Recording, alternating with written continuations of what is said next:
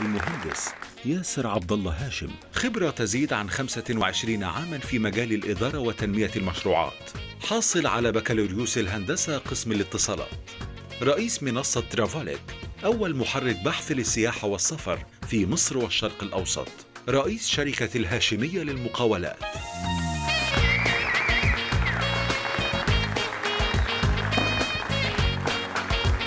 أهلا بحضرتك. دكتور. أهلا بيك. شغل عالي شغل عالي. مهندس ياسر هاشم آه، مبسوطين إن حضرتك منورنا النهارده. سعيد يا فندم.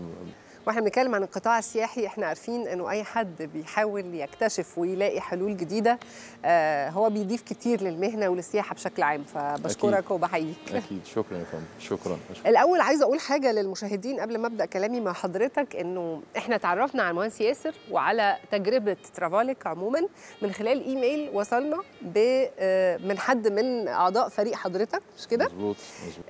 ولأننا طول الوقت بندور على الناس اللي بتشتغل تحديدا في مجال التكنولوجي في الفقرة دي تحديدا ده مستقبل كل المهن والوظائف.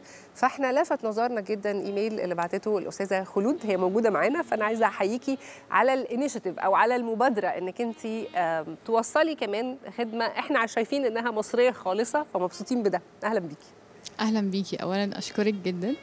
آه ثانيا آه واحدة من الأسباب اللي خلتني أبعت لحضراتكم هي نوعية الأسئلة اللي بتطرح خلال البرنامج. شفت إن هي بتطرح من حد فاهم شكراً. أولا. آه، حد مدرك أبعاد الشيء اللي بيتكلم عنه على عكس البعض.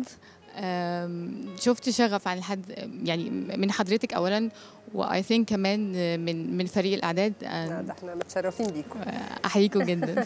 لا وإحنا بن- بنكرر التحية لكل فريق ترافال. كل دول فريق بتاع حضرتك؟ آه معظمهم طيب آه. عايزين نحييهم بس. أهلا بيك منورنا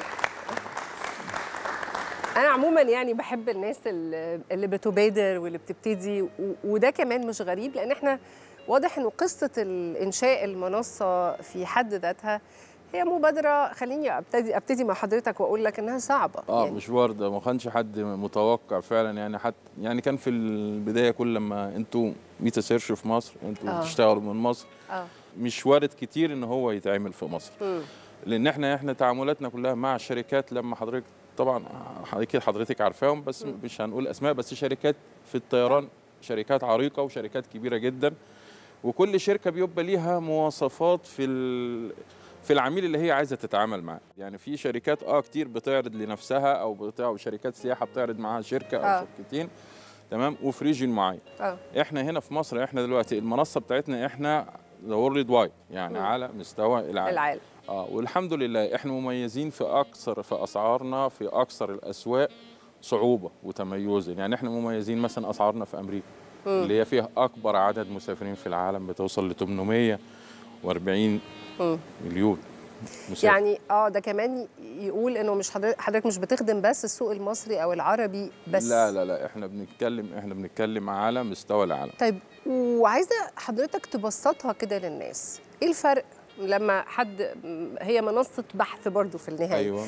آه فإيه الفرق بين إني أكتب على جوجل كده أقول أنا عايز تذكرة طيران من إلى ويطلع لي كل العروض وايه الفرق إن أنا أستخدم آه المنصة بتاعت حضرتك؟ إحنا بن- بنشتغل على على نقط الضعف اللي بنلاقيها. في حاجات معينة بنشتغل عليها بحيث إن إحنا يطلع عندنا إحنا أرخص. ف 70% بيكون عندنا إحنا أرخص. تمام؟ أنت واثق يا باشمهندس من الكلام آه ده؟ في أسواق معينة. آه. هنجرب. آه هتجربي. حضرتك ما ده, ده شيء يشرفنا إن أنت تجربي. أيوه. ماشي. وبعدين أصل هي دي زي ما بيقولوا المية تكدب الغطاس. يعني حضرتك بتخش تجرب آه، في ثانية بتظهر لك النتيجة. مش محتاجة. ال- الطيران الداخلي آه. في أي حلول تخلي وتحديدا في مصر تخلي الإتاحة أكبر يعني إحنا بنتكلم عن السياحة في مصر هو دايما بيبقى نفسنا قوي السياحة الداخلية تنتعش وأعتقد إنه سكتها الأفضل هي الطيران الداخلي إنه يبقى سعره التنافسية ما فيش أي حاجة طول, آه. طول ما في تنافسية دايما هي اللي بتحاول إن هي تقدم سعر أقل. تقدم سعر أحسن وغياب ما فيش تنا... التنافس. التنافسية كل ما بيديك فرصتها كل. ما بيكون سعر ال- الخدمة مم. أعلى فإحنا بنتمنى. طول ما في يبقى في تنافسية طول ما هتبقى الخدمة شاء لمقدمي. خدمة جداد آه. يدخلوا السوق آه بس إحنا إحنا حبينا نوضح نقطة إن إحنا ما إحنا. شركة يعني أصل في ناس بتفهمنا غلط يعني. في ناس بتسألنا أنا عايز. أطلع فيزا آه، في ناس بتيجي تقول أنا أنت اتصل مثلا أنا عايزه تذكرة آه. بيتصلوا وكنت هقول ما عندوش لحضرتك فكرة أو دراية إحنا بنعمل إيه بالظبط طب يعني خلينا نجاوبهم إحنا عايزين نعرف الخطر القادم على شركات السياحة وهل أنتم بتقدموا نفس خدمة الشركة السياحه أو أنتم أو المنصات اللي تشبهكم المنصات اللي بتقدم الخدمات السياحية ممكن تبقى خطر على مستقبل القطاع ده؟ شركات السياحه ممكن تختفي بعد كام آه، سنة؟ لا لا هي مش ممكن تختفي الحاجة هي إحنا ممكن من ضمن الخطط بتاعتنا إن إحنا نحاول نحاول نقدم الخدمة دي لشركات السياحة اللي هي ال offline مش الأونلاين. هو لسه في حد offline آه طبعا. في شركات سياحة كتير في مصر ما بتقدمش خدمة طبعاً. أونلاين. تشتغل على ال offline بتشتغل بالتعاون مع الناس التانية اللي بتقدم آه خدمات تمام. إنما هو لما هيكون ليه منصة هو كمان. مم. تمام. هو بيكون متعاقد مثلا مع شركة اتنين تلاتة ايا كان وبيكون واخد منهم عروض كويسة وأسعار كويسة. ده بتاع شركات سياحة عروض خاصة بيه مثلا. ماشي؟ وهو بيحاول إن هو يسوق الحاجات دي بس offline. فإحنا بنتكلم إن إحنا إحنا عندنا دلوقتي الحمد لله الخبرة إن إحنا ممكن نتعاون معاهم إن هم نخليها اونلاين وبعد ما هي كمان تبقى اونلاين تبقى من ضمن ممكن تبقى شركات السياحة اللي موجودة عندي على المنصة ما هو في الآخر المنصة هي ال- ال platform أو المكان آه، اللي يعني بيعرض إحنا عندنا شركات سياحة مختلفة. عملاقة آه. بس إيه مم. من بره مصر لكن تحديدا عشان برضو نوضح الفرق إيه الفرق بين منصات تقديم الخدمات سواء آه، تذاكر الطيران حجز الأوتيلات وبين الخدمة اللي بتقدمها شركة السياحة يعني أنا حضرتك بتعملي. الخدمة بنفسك. آه. حضرتك بتختاري حسب إمكانياتك وحسب طلباتك بتقدري تجيبي الخدمة بتاعتك. مفيش حد بتقدري تفضلي هي ميزة المنصة عندنا إيه؟ مم. أنا كفرد ما عنديش خبرة مثلا آه، ممكن ده يديني سعر أقل ده يديني سعر أعلى ده يديني سعر. طب أنا عايز أجمع الناس دي كلها عايز أجمع العروض كلها عندي في حتة واحدة. ماشي فبيحصل إيه؟ بروح على منصة زي ترافل فهيبقى عندي ساعتها هيبقى مثلا أنا والله أنا عايز أسافر وعايز أروح الأوتيل هيلاقي كل خدمته عندي. ماشي؟ عايز أروح والله الأوتيل في كذا. ممكن يلاقي باكج كاملة. ما هو ده اللي أنا بسأله لحضرتك يا باشمهندس بس حضرتك. بتهرب من الإجابة. اللي هو؟ لازم تقول لي. اتفضل. هل في خطر على شركات السياحة؟ يعني إحنا شايفين إنه في لا مين؟ خطر يخص آه، اولا إنه انتعاش السياحة وركودها وثانيا منافسة المنصات. يعني حضرتك مش شايف إنه ده خطر؟ المنافسة في تقديم الخدمة والسعر المناسب هو ده دايما اللي بينجح أي شركة. يعني شركة السياحة مين قال إن هي فيها خطر؟ هي بالعكس ده هي لما هتبقى على المنصة ده هيكون العائد بتاعها أكتر بكتير. إن هو بدل ما بيخدم مثلا هو بيخش له كم بيتعامل مع كم؟ آه. عميل أو كم لا أنا كده فاهمة قصدك انه هو لو قدر ال offline يتعاون عدد مع العدد اللي. بيتعامل معاه قليل جدا. الأونلاين مفتوح على مستوى العالم. أي خدمة دلوقتي بقت بتتقدم على الأونلاين بتبقى كم الإتاحة اللي فيها لل... للعالم كبير جدا. مستوى الخدمة سعر الخدمة هو ده اللي هيخليني بدل ما كنت بتعامل مع 100 عميل؟ لا هتعامل مع 1000 مع 10000 مع 100000 عميل.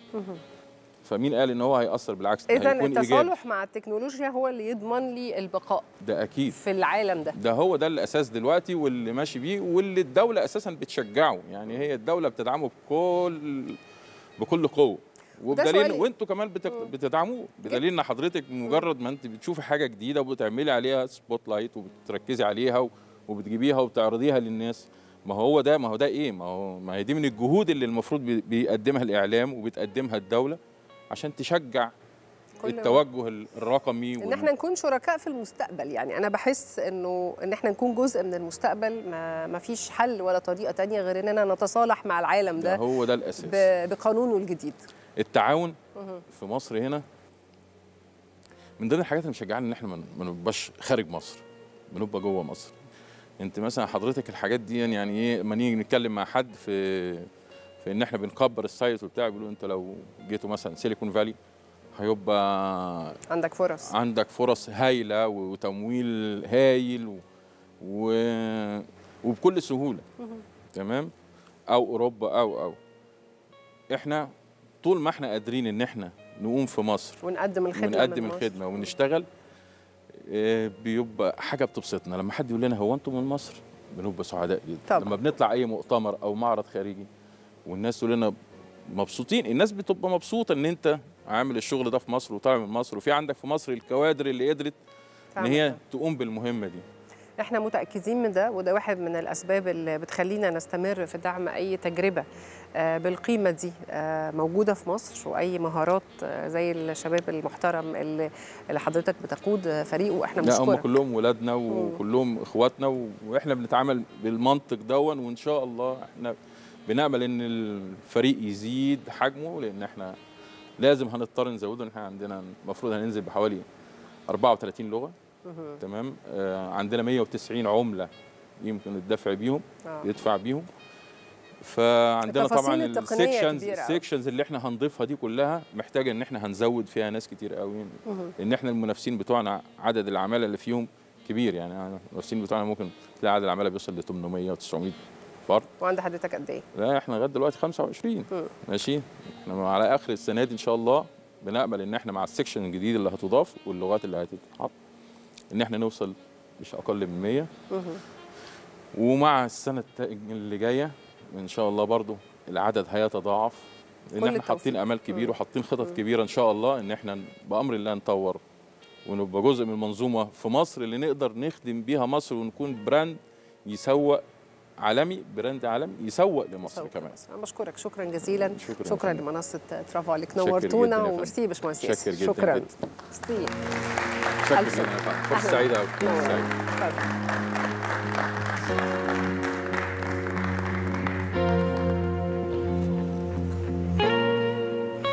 هتفضل السياحة هي الميزة التنافسية الأولى اللي بتقدمها مصر واللي ما نبقاش بنبالغ لو قلنا إن هي أجمل وأقوى وأحلى حاجة عندنا لكن محتاجة مننا لسه كتير من المجهودات.